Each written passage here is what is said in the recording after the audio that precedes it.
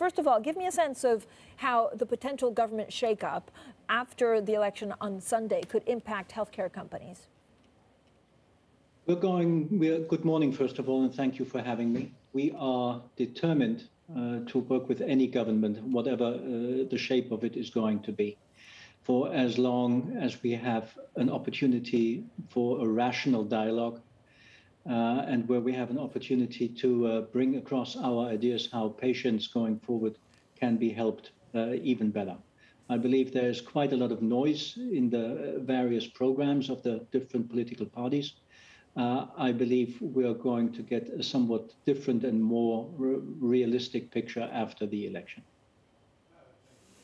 Um, Mr. Sturm, overall, what do you see the biggest change in healthcare? I mean, we see a lot of disruptions, partly because of the pandemic, partly just because it's a business that hasn't been disrupted as much as others. How do you see your industry and Fresenius changing in the next five years? to the degree that we are a service provider and we are predominantly that in our dialysis, but also in our European hospital business.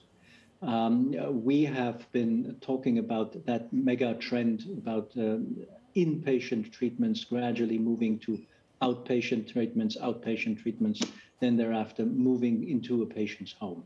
That trend is still ongoing and arguably has even been accelerated um, by COVID. What we also do see as a uh, second trend, obviously, is more a move more towards digitalization.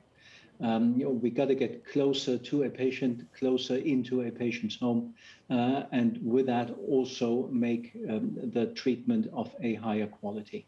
And thirdly, uh, there's a long list, but may I'll leave it at three. Thirdly, um, that we as providers can assume a larger responsibility also financially for a patient's uh, well-being. Um, the financial risk uh, of patient coverage that should be borne by those who actually uh, manage a patient's health. Uh, there were reports in the media, Mr. Sturm, that actually Fresenius and you were looking at a possible breakup. I know of the company. I know you shot that down. That you know, as speculation, something that you're not interested in. What would make you look at the possibility of actually keeping certain units whilst you know either selling off or spinning off other ones? Uh, Francine, I haven't shot that down at all. Uh, I have said that we need to be open uh, to review the group structure against the backdrop of an underperformance of our share price and uh, a very low valuation. Um, we, uh, I have to admit that for various more or less good reasons, haven't been able to show more meaningful earnings growth in the last years. And against that backdrop, a very healthy group structure that um, served us well, that gave us very healthy diversification. Uh, in the eyes of many investors, have turn, has turned into something that is rather excessively complex.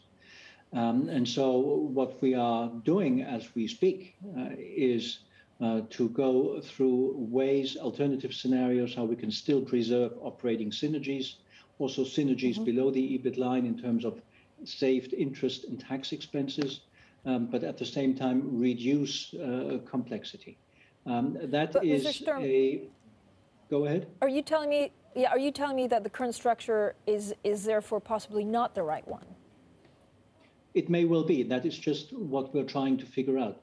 That uh, that structure has served us well. It did not prevent us from uh, uh, getting a 20 PE. It took us to our all-time high as far as the share price is concerned. But things are changing, and therefore that is what we are determined to analyze. And I have committed to give at least an interim update as part of our Q4 results presentation next February. Mr. Sturm, uh, we only have about 50 seconds left. How much of, or how much can you mitigate some of the rising energy prices? Uh, we do not have a major exposure to uh, rising energy prices at all. Um, we are, when it comes to cost inflation, are primarily looking uh, at sales, uh, salaries and wages. Uh, and also we're looking to some raw materials uh, that are pharmaceutical specific. Um, energy, we are well hedged uh, for the medium term and all in all mm-hmm. have a minor exposure anyway. Mr. Sturm, always a pleasure to speak to you. Thanks so much for coming on. Stephan Sturm there, the Chief Executive of Fresenius, joining us from the Goldman Sachs Berenberg 10th German Corporate uh, Conference.